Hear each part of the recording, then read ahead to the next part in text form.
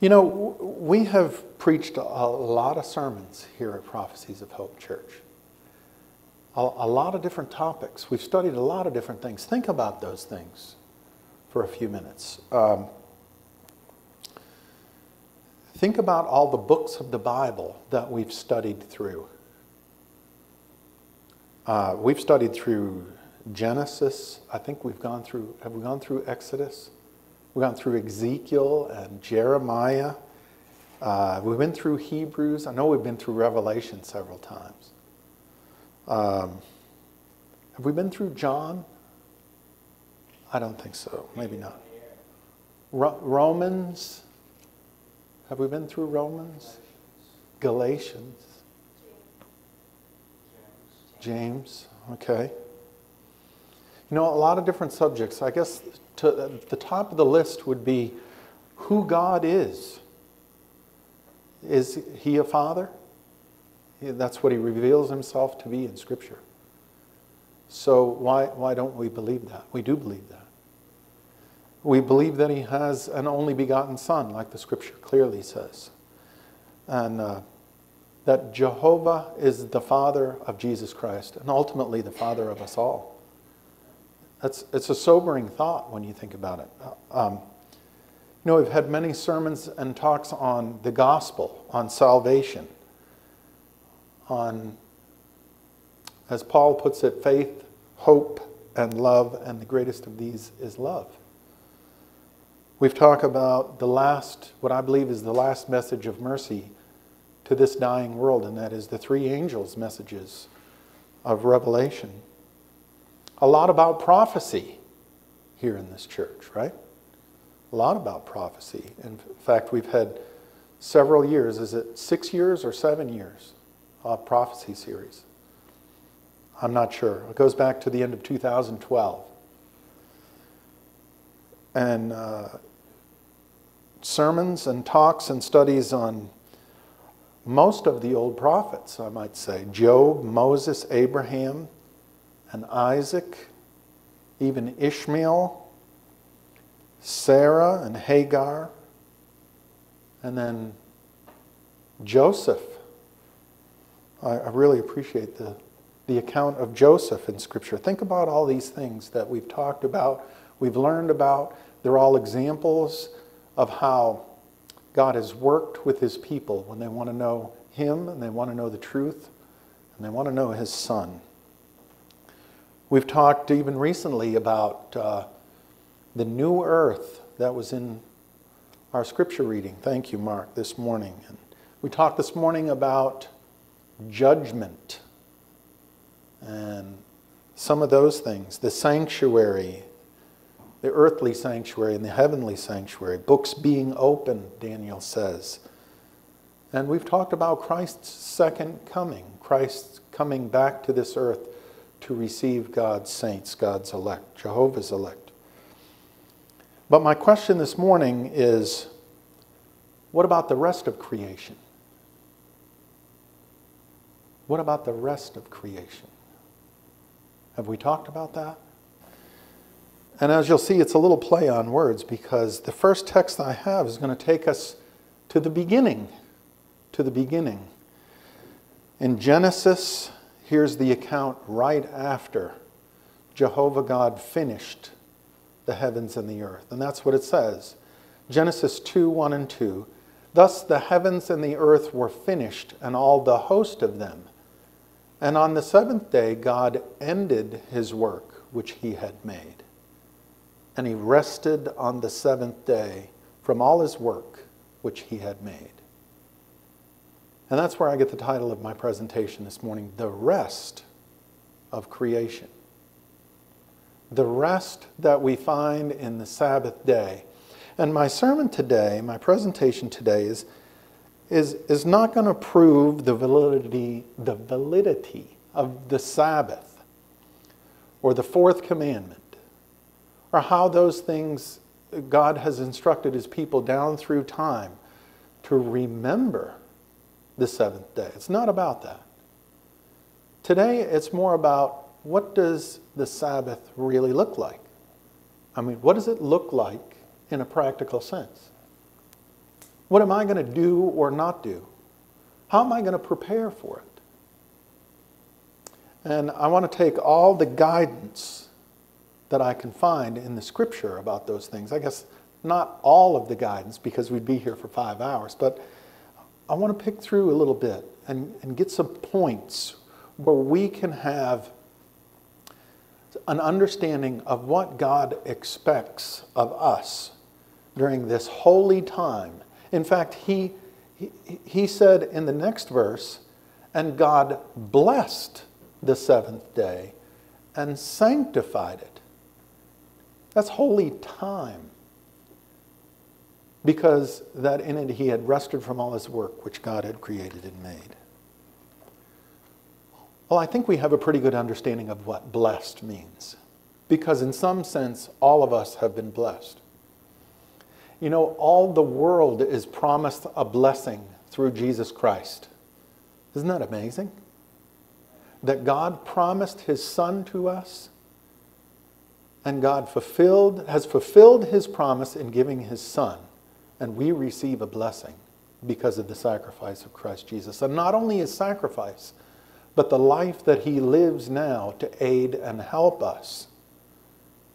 So a blessed being blessed, he blessed the seventh day. I think we have an understanding of that word, but what does it mean to be sanctified. It, he sanctified it. It's kind of, kind of a word we don't use today. We use the word blessing or blessed quite often. Uh, here's a little definition that I dug out to set apart as sacred. There, there's the Hebrew word. I, I probably shouldn't attempt to say it. But to set apart as sacred. This period of time, this seventh day, as consecrated, to dedicate it, to observe as holy, keep sacred, to honor as sacred. Now think for a minute. You think God would have done that just for that particular seventh day at the end of the creation week? Or do you really feel like it applies to every successive seventh day throughout the, all of Earth's history?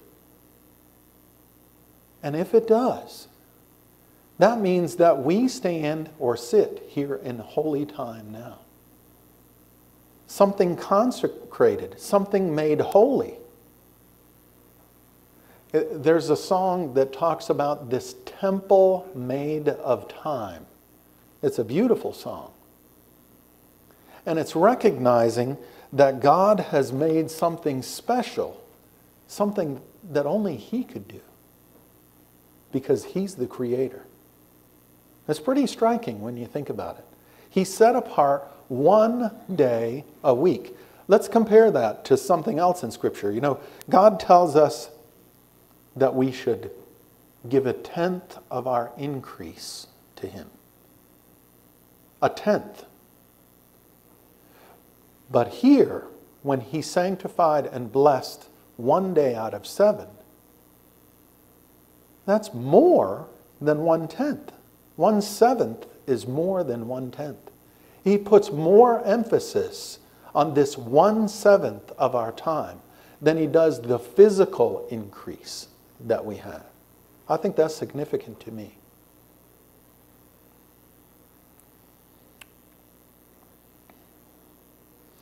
So I want to take from Scripture some examples about how the Sabbath is going to look from week to week and the best place to go, first of all, I think, is an account in the Old Testament where the children of Israel were having some trouble with uh, keeping the Sabbath. And so I want to direct your attention to the book of Nehemiah. It's not a place that we go to very often. Now, let me set this up for you. Nehemiah was a prophet of the Lord, a true prophet. and he was given the task by God of directing essentially the rebuilding of Jerusalem and the temple after the Babylonians had, 70 years after the Babylonians had come in and destroyed everything. So there's problems, logistical problems with everything that's happening. In fact, at one point, these marauding tribes would come in and the people rebuilding the wall would have to have a trowel in one hand and a spear and a sword in the other so that they, they could defend themselves while actually rebuilding the walls of the temple and the walls of Jerusalem. But this is a different problem. And let's just read the account, several verses here from Nehemiah. In those days, he's saying, saw I in Judah some treading wine presses on the Sabbath, and bringing in sheaves, and, and lading asses, as also wine, grapes, and figs, and all manner of burdens, which they brought unto Jerusalem on the Sabbath day. And I testified against them in the day wherein they sold victuals. There dwelt men of Tyre. Now, I take to mean by men of Tyre, those are men outside of, of the Israelites. Also, therein which, which brought fish and all manner of ware, and sold on the Sabbath unto the children of Jews, Judah and in Jerusalem. And he continues Then I contended with the nobles of Judah and said unto them, What evil thing is this that you do, and profane the Sabbath day? Did not your fathers thus, and did not your God bring all this evil upon us? He's talking about, excuse me. Hmm? Ah, here I go again. I can't get the text right. Should be Nehemiah chapter 13. Did not your fathers thus, and did not your God bring all this evil upon us? And he's referring to the children of Israel not keeping the Sabbath days in the past. That's one of the big reasons that God allowed the Babylonians to take them. Upon this city, yet you bring more wrath upon Israel by profaning the Sabbath. He continues. And it came to pass that when the gates of Jerusalem began to be dark before the Sabbath, now this is a great indication about when the Sabbath starts at the end of preparation day when the sun is setting. I commanded that the gates should be shut and charged that they should not be open until after the Sabbath. And some of my servants said I at the gates, that there should be no burden be brought in on the Sabbath day. You know, would God have us be forced to keep one of his commandments or to do it from the heart? So uh, I find this a little difficult that Nehemiah, the person God has chosen to be in charge, has to essentially force the people out who are doing all the burdens, all the work, selling things on the Sabbath day, and close the gates in Jerusalem so not even the people in Jerusalem have access to these things. And he continues. So the merchant and the settler of all kind of ware lodged without Jerusalem once or twice. Uh, Mark, do you see that on the screen? It's, uh, yeah, there's something covering my screen.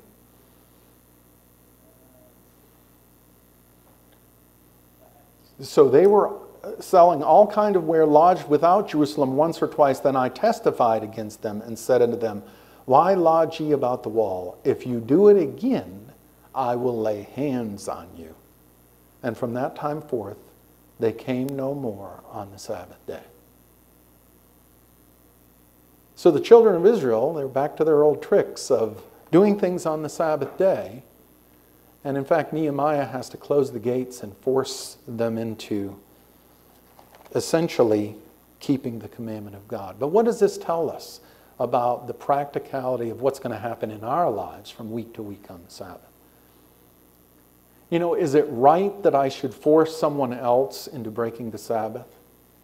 Should I be out making other people work for me when it's not a necessity on the Sabbath? I don't think so. Should I be out doing things where other people are gainfully employed on the Sabbath day when, when you know, if it was up to me, I should be allowing those people to have that rest. And we'll see by the end of the sermon that someday that will be the case. Where there won't be the necessity, even the necessities that we have in life today, that things that need to be done on the Sabbath are going to be done away with in the new earth. You see, Jesus made it pretty clear. when we think about the Sabbath, it can't be a burden to us. It really can't. Because if it's a burden in our hearts and minds, then what really is the validity of the Sabbath when it comes to rest? If we're always thinking about things that need to be done, it's really going to take a mindset and a heart set change to be able to understand and get a true blessing that God intended for the Sabbath. In fact, Jesus said, hmm, here's one more text from Nehemiah. But Jesus said that the Sabbath was made for man and not man for the Sabbath. That's from Mark 2:27. You mean the Sabbath is for our benefit? It's supposed to be. It really is for our benefit. Why would God set aside one seventh of the time that we have for us? He must know something about us that maybe we don't recognize ourselves. The Creator knows best for His creatures, does He not? Well, what can we do on the Sabbath? I think God set aside two days of the week with names. There's preparation day and the Sabbath day. And there's a reason that Friday, we call it today, was called preparation day by Jehovah God. There's a reason for that. It's so that we can truly rest, not only physically, but from the cares, from the worries that we have in everyday life. So, what can we do on the Sabbath day? What do we do? We have a pretty good example of what we can do. Let's turn again to Mark. And I'm going to read this account about what Jesus did on the Sabbath. And he entered again into the synagogue, and there was a man which had a withered hand. And they watched him, meaning the scribes and Pharisees whether he would heal him on the Sabbath day, that they might accuse him. And he saith unto the man which had the withered hand, Stand forth. And he saith unto them, Is it lawful to do good on the Sabbath day, or to do evil? To save life, or to kill? They didn't want to answer, did they? They held their peace. So, what's Jesus' example to us? Is it a good idea to take time to do something for someone else? Let's be a blessing. Let's reveal the blessings that God has given us to someone else. Even if it takes a lot of effort.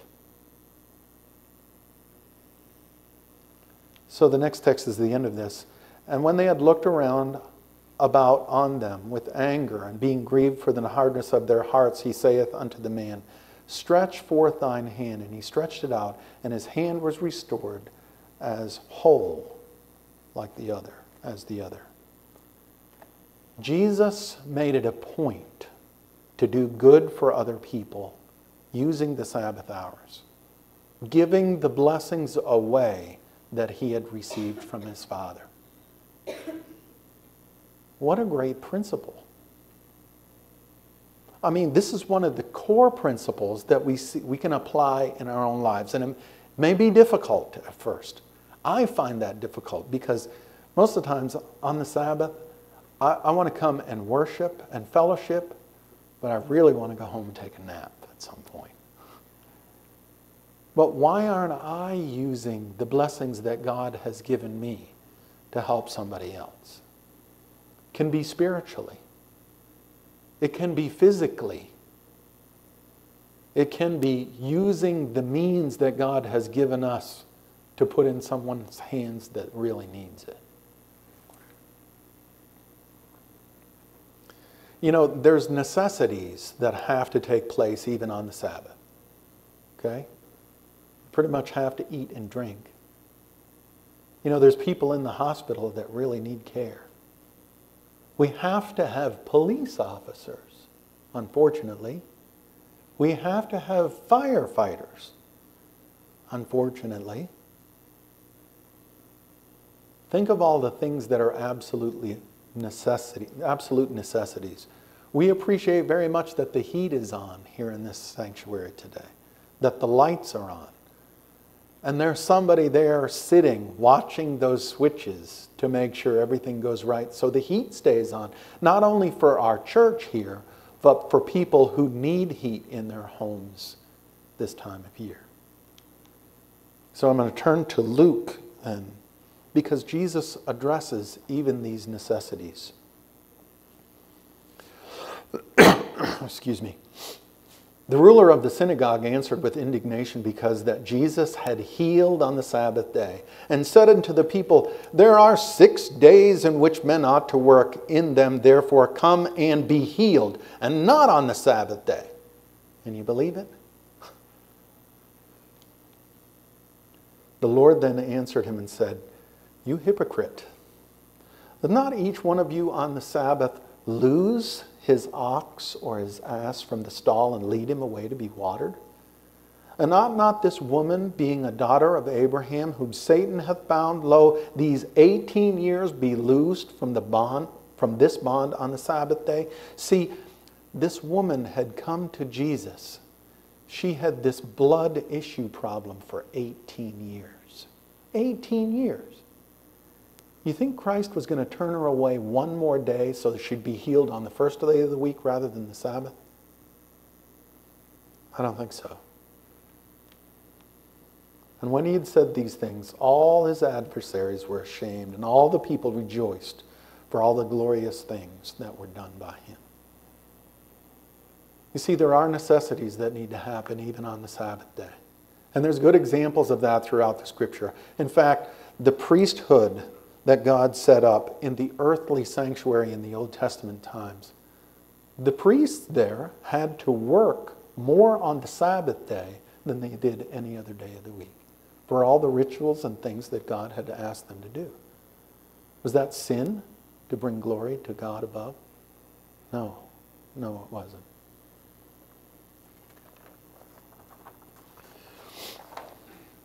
You know, when we talk about the Sabbath, there's a lot of things that we may not understand at first. It's, it's a difficult subject because most people don't understand the depth of the blessing that they can receive on the Sabbath. If their mindset is changed and they understand in a spiritual sense what a tremendous blessing God can give us on the Sabbath. So I'm going to turn to 1 Corinthians and these are concepts that I know that most of us understand because what, the, what these texts are saying is that spiritual things are spiritually discerned. That we understand the deep things of God with more study, with more prayer, coming to a close relationship through Jehovah God, through his Son. And here's what 1 Corinthians chapter 2 says, verse 12 through 13. Now we have received not the spirit of the world, but the Spirit which is of God, that we might know the things that are freely given to us of God. So, what's Paul saying here? If we don't receive the Spirit of God, if we don't have a spiritual understanding, how can we know the things of God? And, and if you do some other reading, the previous text before this talks about how we have a spirit inside of us. We know the things because we understand things that are human when we have the Spirit of God in us, then He infuses knowledge and wisdom and love and all the goodness of His character into us, and we understand deeply the things that are spiritual. Well, he goes on, he says, Which things also we speak, not in the words which man's wisdom teaches, but which the Holy Spirit, that the Holy Ghost teaches, comparing spiritual things with spiritual things. But the natural man, in other words, me alone, without the Spirit of God, where am I? I don't know, I don't know these things. Receiveth not the things of the Spirit of God, for they are foolishness unto him. Neither can he know them, because they are spiritually discerned. And this applies to the Sabbath truth also. The fourth commandment. The day that God set aside, blessed, and sanctified. If we're going to have an understanding of how it's going to practically fit into all the blessings that God wants to give me on a week to week basis, I have to know these things on a spiritual level. They have to transcend the natural man. And it's an element of faith. It really is an element of faith.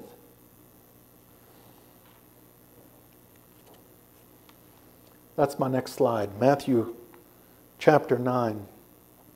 And behold, a woman which was diseased with an issue of blood 12 years came behind him and touched the hem of his garment. For, or because, she said within herself, If I may but touch his garment, I shall be whole. That was the faith that she had. But Jesus turned about him about, and when he saw her, he said, Daughter, be of good comfort. Thy faith has made thee whole. And the woman was made whole from that hour. It takes an element of faith to understand the deep meaning of the Sabbath. The blessings that we receive on that day from true physical rest and spiritual rest.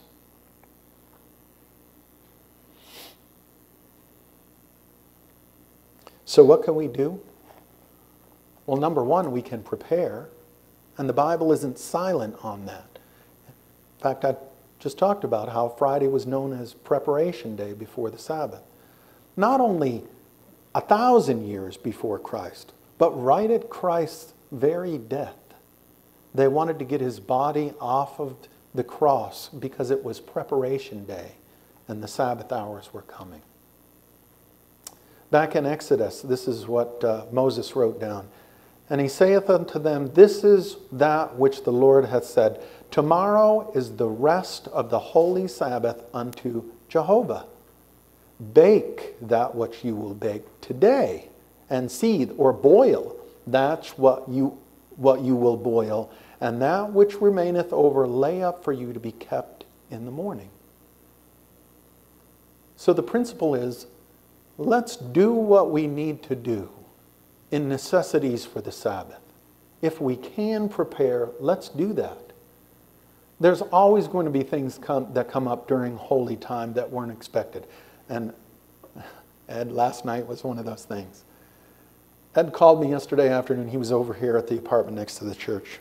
And he said, both of the space heaters we have just keeping minimal heat in the building kaput they're gone. The fans won't work on either one of them. And man, I thought that is really odd. That is really odd. And I thought back this week, I had heard on the news that 500 customers uh, from the power company were, with, were without power here in, in Stanton. So we talked about it, and he said, You know, I, I, I'm, I'm just going to go to Lowe's and, and get a couple of small heaters to replace it. So I met him over there. We, we made that purchase. He had to run around a little bit to collect them. And he got them both working, but still the power was not right over there next door. And it's still not right. So the Sabbath hours came on, and Ed and I were still trying to determine whether the building was going to be safe over the Sabbath hours or not. And we had several times when we prayed about it. And we tried to do everything that we could with our knowledge. And we just decided we're going to have to leave the rest in God's hands. And that's what we did. We had prayer at the end, and we left these buildings in God's hands because we'd done everything that we could possibly think about doing. And that was an emergency. Normally, I wouldn't go out for something like that and, and wouldn't do something of a mechanical or work nature like that. But there's going to be emergencies. Here, the principle from Exodus is let's prepare what we can. In fact, another good example, which I don't have in my notes or on my slides, is, is when God provided manna for the children of Israel in the wilderness. You know, for six days, uh, five days out of the week, He would provide each of them the regular amount. On the sixth day, He asked, He, he provided the same amount, asked them to gather in double. And it was the only night through the whole week where it would remain until morning and through the next day to give them sustenance. What a miraculous thing. If we put faith out there to Jehovah God, He's going to sustain us. He's going to sustain us. So, in a practical sense, what have we seen? We've seen let's prepare for the Sabbath. Let's avoid doing those things that are typically the regular things that we do throughout the week our commerce, our coming and going. Let's prepare. Let's avoid those things that are regular things. And you know, because Sabbath has been sanctified or made holy or set apart, where should our minds be on this day? It should be on spiritual things as much as possible. I think that's one of the big reasons God knew in His wisdom to set apart one seventh of our time. So I want to go to our scripture reading today, Isaiah 66. And look at the context. The context is everything. For as in the new heavens and the new earth, it's going to be a beautiful time. And the time will never end.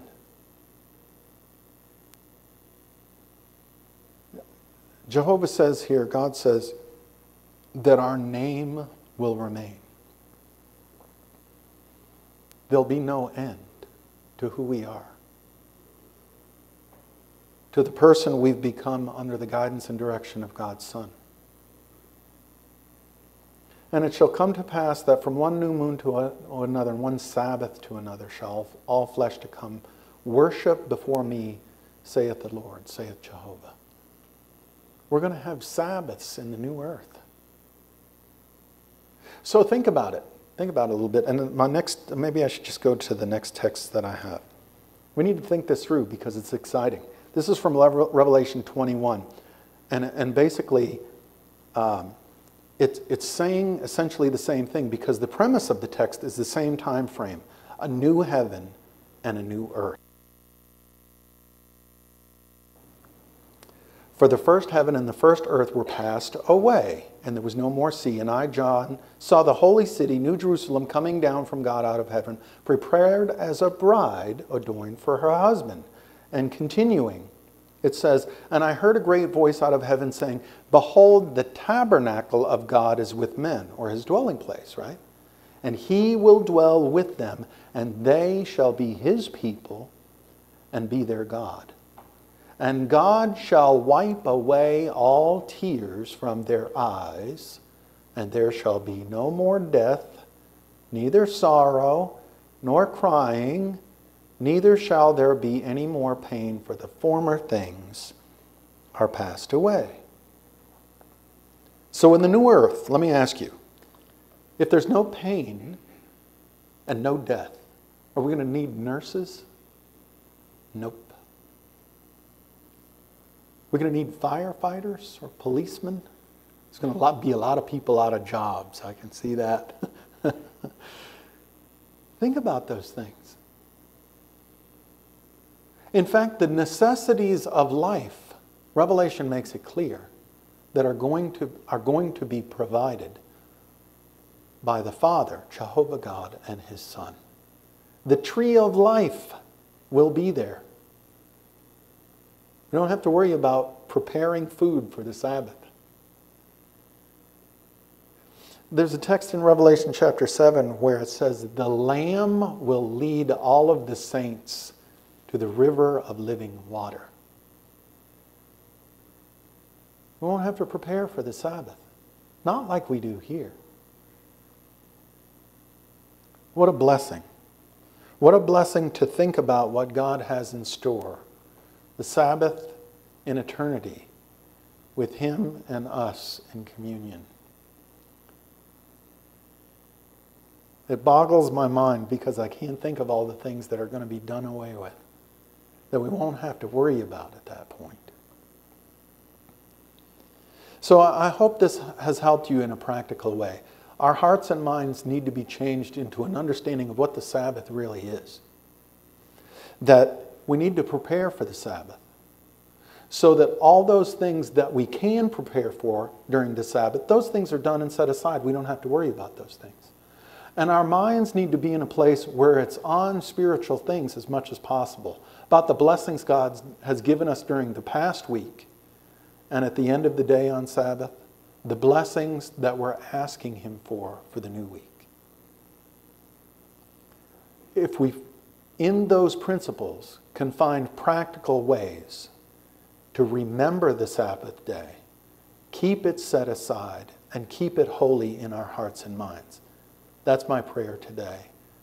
And that's what I'm hoping that these principles will instill in each one of us straight from Scripture. So, just one thought at the end, and that is from Hebrews chapter 4, verse 9. There remaineth therefore a Sabbath rest for the people of God. It's a blessing.